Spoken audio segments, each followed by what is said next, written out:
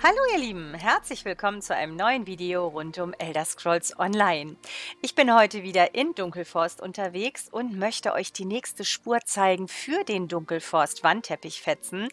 Ein wirklich toller Einrichtungsgegenstand, aber der ist groß. Also der nimmt locker eine ganze Wand ein. Nichtsdestotrotz ein wirklich toller Einrichtungsgegenstand. Wie bekommen wir den? Wir brauchen insgesamt 15 Spuren, die wir suchen müssen, um dann die Fetzen auszubuddeln und dann zum Wandteppich zusammenzusetzen.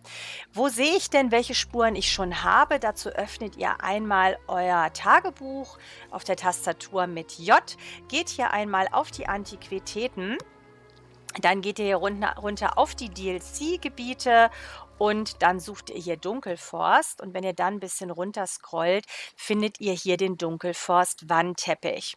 Da, wo schon so Fetzen abgebildet sind, die habt ihr.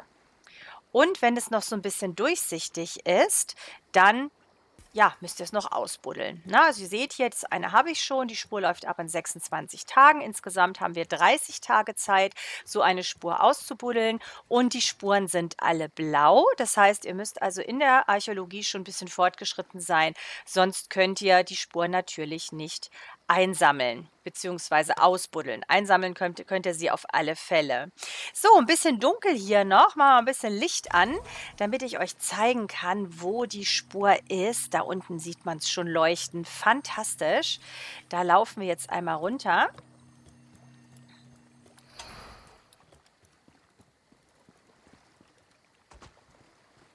So,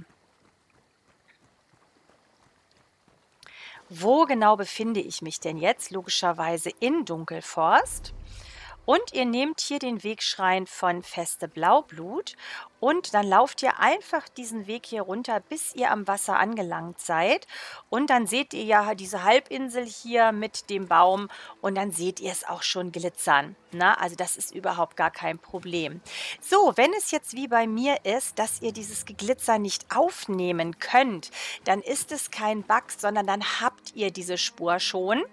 Dann habt ihr sie entweder noch nicht ausgebuddelt oder habt sie sogar schon ausgebuddelt. Aber auf alle Fälle, wenn das so ist wie hier, dann habt ihr es schon schon.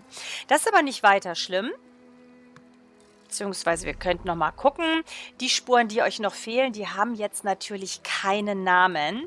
Aber ihr könnt auf alle Fälle immer, wenn ihr hier drüber geht, sehen, wie die Teile heißen.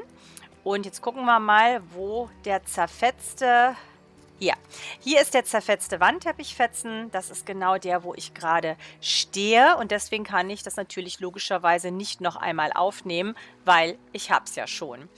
Gut, das ist der Fundort. Ihr müsst dann noch losziehen, diese Spur ausbuddeln. Das findet ihr dann wiederum, wenn ihr in der Archäologie hier oben auf Erspähbar geht. Dann findet ihr hier die Sachen, die ihr noch ausbuddeln könnt. Vom letzten Video habe ich hier noch den fadenscheinigen Wandteppichfetzen, den ich noch ausbuddeln ausbuddeln muss. Wenn hier nichts ist, ist logischerweise auch nichts auszubuddeln, zumindest nicht in diesem Gebiet. Die ganze Übersicht habt ihr dann, wenn ihr natürlich auf alle aktiven, alle aktiven Spuren geht. Das hat aber eigentlich keinen Sinn, weil wir natürlich nur hier in Dunkelforst die Wandteppichfetzen finden können. Ja, ich wünsche euch viel Spaß beim Finden und Ausbuddeln der Spuren, später mit dem Wandteppich sowieso. Ja, und wenn euch das Video gefallen und weitergeholfen hat, ich freue mich immer über ein Like und ein Follow und sage damit Tschüss, eure Kastanie, bis zum nächsten Video.